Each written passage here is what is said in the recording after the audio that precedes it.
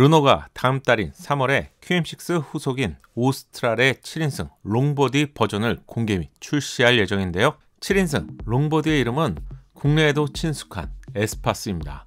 공식 티저가 공개되었습니다. 에스파스는 르노의 플래그십 MPV 차량으로 과거에 국내 출시를 검토했던 차량이죠. 하지만 당시의 가격적인 타당성 이유로 출시가 되지 못했죠.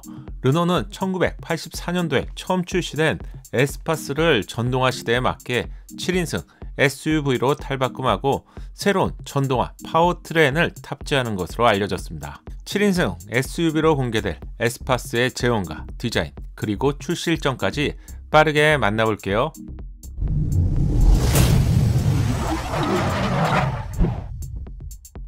안녕하세요 연못구름입니다 상품성이 오래된 르노 QM6는 이제는 뭐 거의 화석에 비유될 정도로 상품성 자체만 두고 본다면 이미 full change가 되었어야 할 정도로 아쉬움이 남는 차량이죠 하지만 LPG 파워트레인을 추가하면서 국내에서 강력한 산타페의 경쟁차 역할을 하고 있습니다.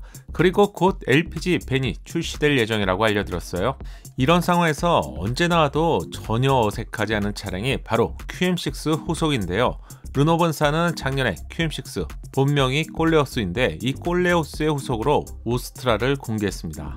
르노의 모든 기술력을 쏟아부은 차량이 오스트랄인데요. open R 디자인에 완전히 새로운 실내 공간은 전동화 시대에 맞게 달라졌죠. 비행기의 조종석을 닮은 실내의 디자인은 기대감을 크게 높였고요. 12.3인치의 계기판과 12인치의 계기판을 마치 하나로 연결하면서 인터페이스를 최적화했는데요. 이렇게 지도와 같은 화면에서는 세로 타입이 확실히 편한데 상황에 맞게 사용할 수 있는 가로와 세로가 조합된 디스플레이는 장점입니다. 디스플레이는 압도적인 해상도를 제공하는데 인치당 160 픽셀의 HD 해상도, 60Hz의 재생빈도, 1600만 칼라를 제공하는 색상과 IPS LCD 패널의 품질은 아이폰 레티나의 디스플레이를 감히 뛰어넘는다고 하죠. 밝기도 900CD로 밝은 태양 아래에서도 사용할 수 있을 정도로 뛰어난 스펙이 장점이죠. 먼저 7인승 에스파스의 사이즈부터 알려드릴게요. 전체 길이에 해당되는 전장은 4720mm로 알려졌습니다. 현재 QM6는 4675mm로 약 45mm가 더 길어진 사이즈죠. 4720mm며 현대 산타페 4785보다 조금 작은데요. 거의 유사한 사이즈입니다. 하지만 르노는 MPV 기반의 기술력으로 7인승을 만들었기 때문에 실내 공간에 있어서는 산타페보다 좀 더 여유로울 것으로 예상합니다. 외부 디자인은 이전에 포착된 테스트 차량을 통해서 오스트라를 길게 늘려놓은 것 같은 디자인이 될 거라고 알려드렸어요. 에스파스 공식 티저에서도 길어진 측면부의 디자인을 확인할 수 있네요. 또한 오스트랄과 닮은 전면부 헤드램프의 디자인과 tail lamp의 디자인을 쉽게 유추할 수 있습니다. 그럼 오스트랄의 디자인을 참고하면 되겠네요. 오스트랄은 기존 르노의 디자인을 거의 그대로 계승하고 있지만 전동화 시대에 맞게 디자인을 재해석했습니다. 기존의 QM6와 디자인 차이점을 보면 C자형 주간 주행등과 날개를 마치 펼치고 있는 것 같은 wing 타입 그릴은 르노의 시그니처 디자인이죠.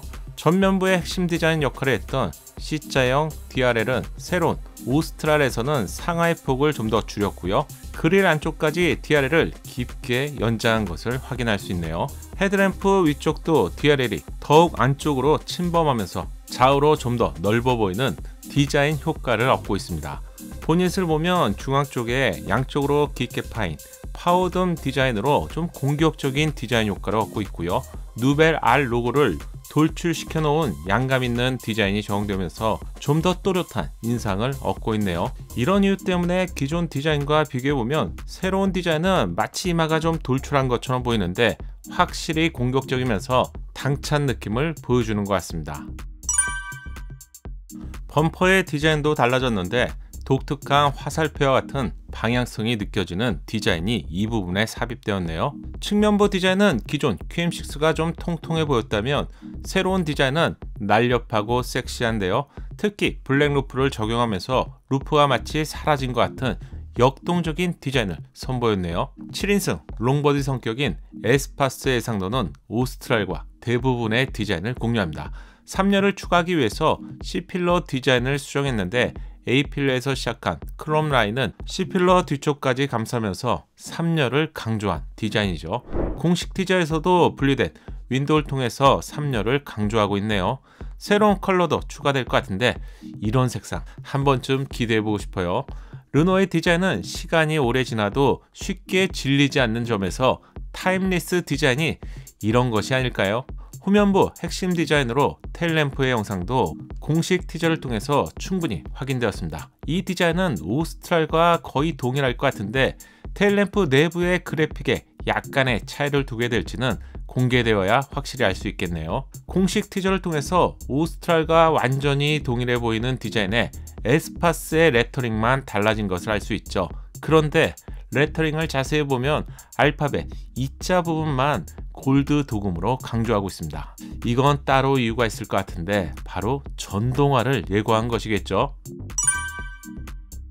오스트랄의 실내는 새로운 르노 실내의 기준인 12.3인치의 계기판과 10인치의 가루 인포테인먼트 그리고 9.3인치의 head-up 디스플레이까지 갖추면서 미래 지향적인 분위기를 연출하고 있습니다. 잘 짜여진 공간에 3열을 갖춘 7인승 공간은 family라면 좋아하는 확실한 상품성을 갖추게 되겠네요. 마지막으로 예상 powertrain을 알려드릴게요.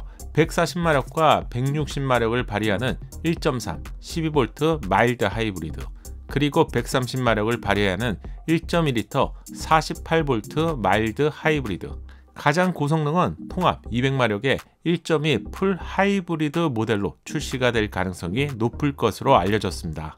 그렇다면 언제 출시가 될까요? 에스파스는 다음 달인 3월에 정식 공개가 될 예정이고 올해 상반기에 프랑스를 시작으로 유럽에 판매를 시작합니다. 이제 곧 볼 차량인데요. 기존 MPV 에스파스를 대체하면서 QM6의 본명인 꼴레오스를 함께 대체하게 되는데 국내에 판매가 될 수 있을지 이 부분에 대해서 르노 코리아 자동차에서는 현재까지 언급이 없는 상황인데요.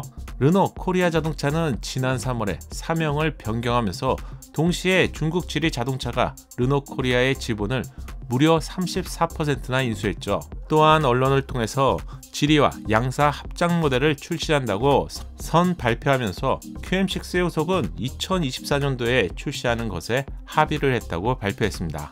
따라서 상황적으로 본다면 르노가 만든 오스트랄 long body인 에스파스가 국내에 출시되기는 좀 힘들지 않을까 예상해 볼 수 있겠네요. 다만 이 부분은 제조사의 공식 발표 내용이 아니라서 중립기여를 박으시고 상황을 지켜보시면 좋을 것 같습니다. 3월에 에스파스가 공개된다면 추가 영상을 준비해 볼게요.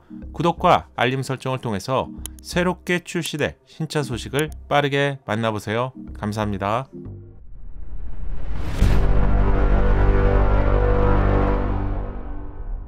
작은 도움이 되셨다면 좋아요 부탁드리고요. 구독과 알림 설정을 통해서 정확한 신차 정보를 빠르게 만나보세요. 감사합니다.